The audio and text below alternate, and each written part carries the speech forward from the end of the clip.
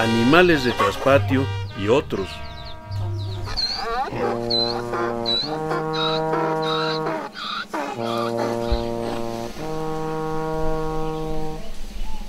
En la vida campesina se llevan a cabo diversas actividades que complementan la economía y que permiten la sobrevivencia.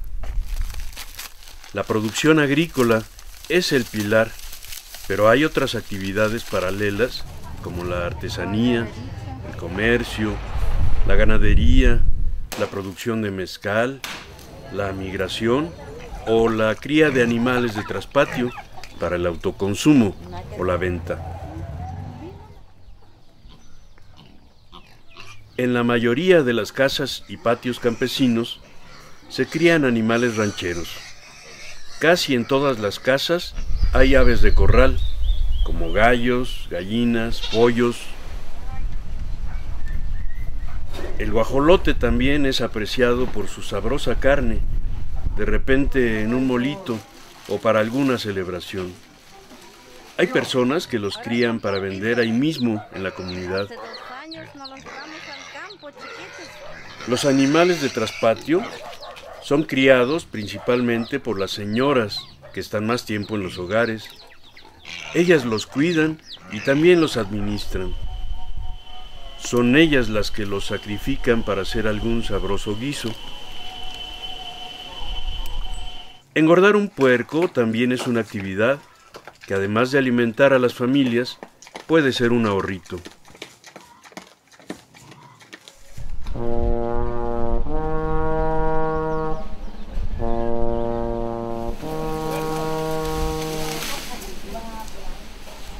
Tener chivos también es un negocito para las familias, además de su carne y su caca, que es un excelente abono para la milpa.